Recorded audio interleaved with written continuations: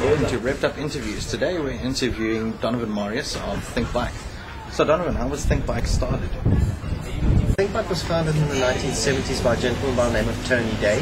Um, it ran for several months and then unfortunately due to lack of support, the campaign actually fell flat.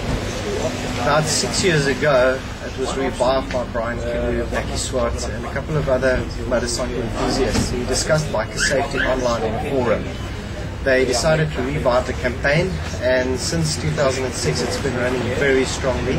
We've got several thousand members throughout South Africa, supporters and members throughout South Africa, and it's a very well recognized brand. Think Bike is the second largest safety campaign in Africa, but we're also the biggest two-wheel awareness campaign in the Southern Hemisphere. And uh, what is your involvement with Think Bike? I'm on the committee for the Think Bike Western Cape. Um, I run the sponsorship portfolio for Think Bike. Um, we're a totally non-profit organisation, so we don't get any government subsidies. We rely on our sponsors. Some of our headline sponsors include Outsurance, Scooters, the City of Cape Town, and several others. Um, these sponsors sponsor stickers, banners, reflective gear for us. They put their name on it, and we wear it with pride. What are the goals of Think Bike?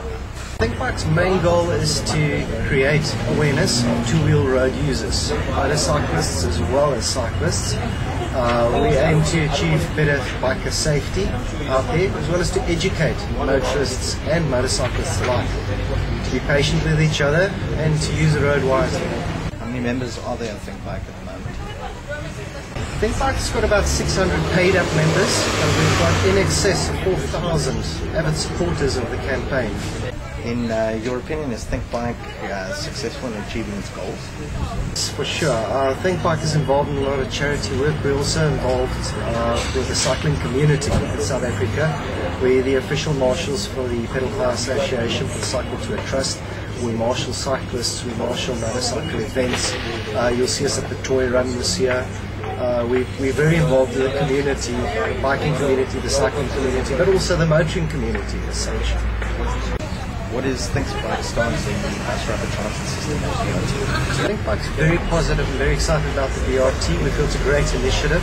Um, it will alleviate a lot of traffic congestion. It will make us motor, motorcyclists on the roads a lot safer, um, be easier for us to commute as well. We feel that uh, you know as long as it's implemented and managed well, that the buses run on schedule and that there's safety on the buses, it's a viable solution. In your opinion, do you see the BRT or bus rapid transit system working after the 2010 World Cup? Yes, we do. We, uh, we're very positive about it. As long as it's well managed um, and the buses run on time, we, we really think it can work very well in the South African market. Thank you very much for your time, Donovan. And that's all we have time for today. Thank you for watching Revved Up Interviews.